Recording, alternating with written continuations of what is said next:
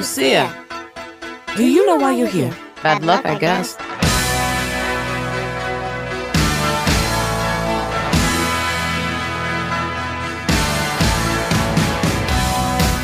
There was a girl I knew. She said she cared about me. She tried to make my world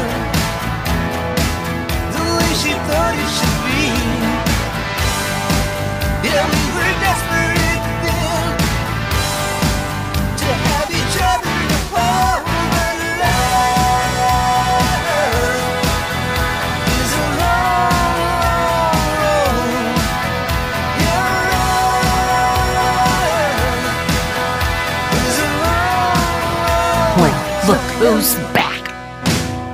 The only way we're gonna get through this is by sticking together, being a team.